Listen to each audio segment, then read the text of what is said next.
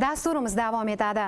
Amerika jamiyati asosan nasroniylardan iborat. Biroq sotsiologlarning qayd etishicha, islom Amerikada keng tarqalib borayotgan din. Bugun musulmonlar aholining kichik bir qismini tashkil etadi. Ammo yoshlar orasida turli e'tiqodlarga qiziqish juda kuchli. Jamiki din vakillarini topasiz bu mamlakatda. Mashhur odamlar orasida ham musulmonlar anchagina. Masalan, bokschi Muhammad Ali, basketbolchi Karim Abduljabbor, kongressmen Kit Ellison va yana ko'plab boshqalari. Amerika Islom aloqalari kengashi hisobicha 2001-yilning 11-sentyabridan beri bu mamlakatda 34 mingga yaqin amerikalik islomga kirgan. Navbatdagi lavhamiz qahramoni ana shulardan biri. Odil Ro'zaliyev sizni u bilan yaqindan tanishtiradi. Bismillahirrohmanirrohim. Zakari vest 23 yoshda vashington atrofida turadi. Katolik oiladan chiqqan.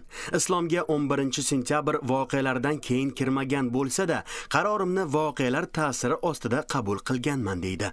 O'tgan yili rojdestvo bayrami arafasida cherkovga borish o'rniga masjidga yo'l olib kalima keltirdim.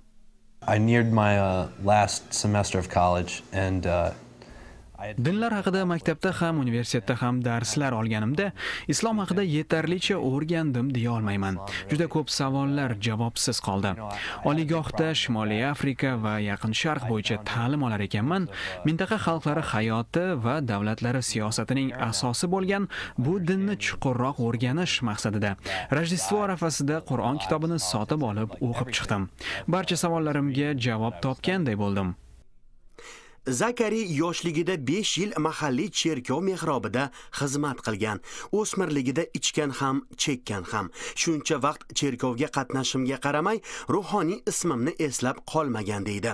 Masjidda esa uni iliq kutib olishdi.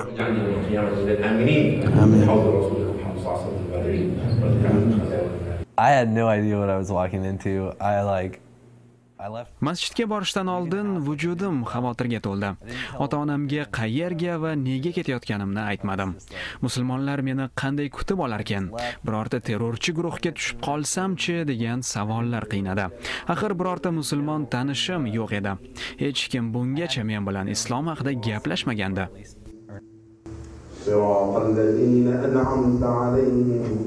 غير المغضوب عليهم ولا الضالين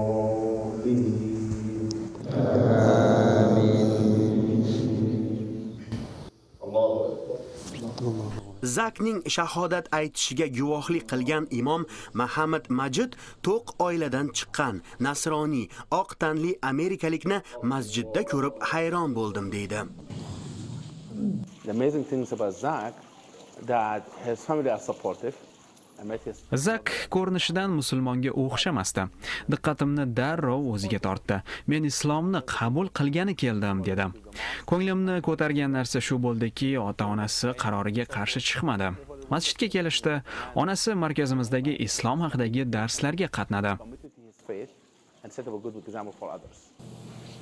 Allohu akbar. Zakari vest besh mahal namozni kanda qilmaydi. Masjidga tez tez chiqib turadi. Assalomu alaykum va rahmatullohi. Assalomu alaykum va rahmatullohi. Umridagi ilk ramazon oyida bir kun qoldirmay ro'za tutdi. Ko'pchilik musulmonlar uni yaxshi taniydi hurmat qiladi mehmonga chaqirib turishadi. It was surprise because you know he's a white collar American boy and oq tanli amerikalikni masjidda ilk ko'rganda hayron bo'ldik. Ammo keyinchalik uning islomga qur'onga sunnaga qiziqishi katta ekanini ko'rdik. There's just this enclave of like people in america that like i had no idea existed and they're the amerikada shunday ajoyib insonlar jamoasi borligini bilmay yurgan ekanman. Judayam mehribon odamlar zakari Washington tashqarisidagi katta uyda ota onasi bilan turadi. Xonasida islom haqida bir necha kitoblar va qur'on bor. Har kuni mutolaa qiladi. Uyda yaqin sharqliklarning uzun libosida yuradi. Soqol qo'ygan. Well my, my dad said uh, i saw that coming. Uh, ota-onamga islomni qabul qilishimni ilk bor aytganimda dadam shunaqa bo'lishini sezgandim dedi. Oyim esa aynan nega shu dinni tanlading? deb so'radi.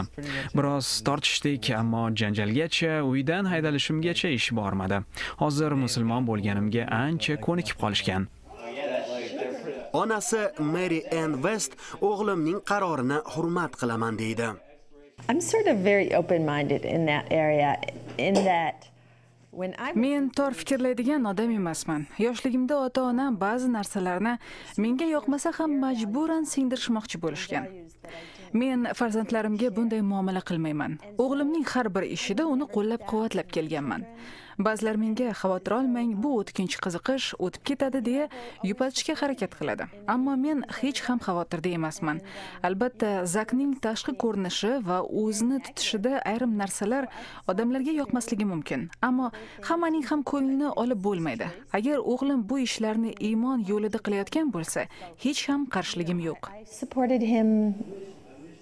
You know, I would say 100% when he told me. zakari musulmonlar bilan tanishgan sayin islomni qabul qilgan boshqa odamlar bilan do'st tutindi.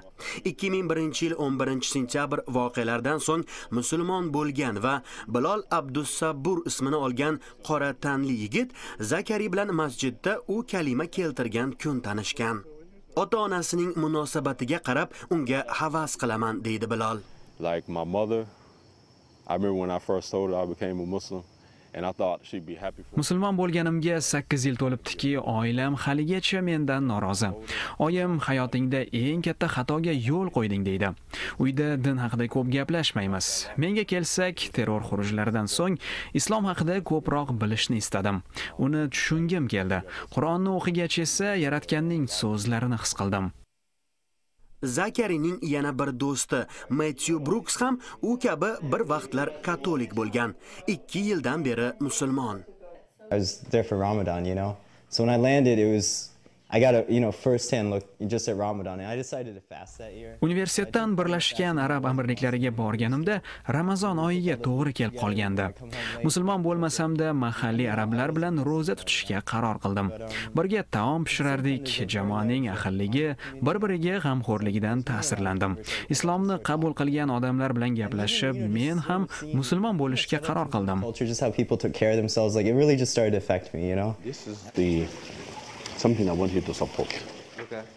zakari vest islom haqidagi bilimlarini kengaytirmoqchi. Masjidda turli ishlarga qarashib ko'ngillilik qiladi. Qurbon hayitni janubiy karolina shtatida istiqomat qiluvchi sofilar doirasida o'tkazdi. Odil ro'zaliyev vashingtondan amerika ovozi televideniyasi uchun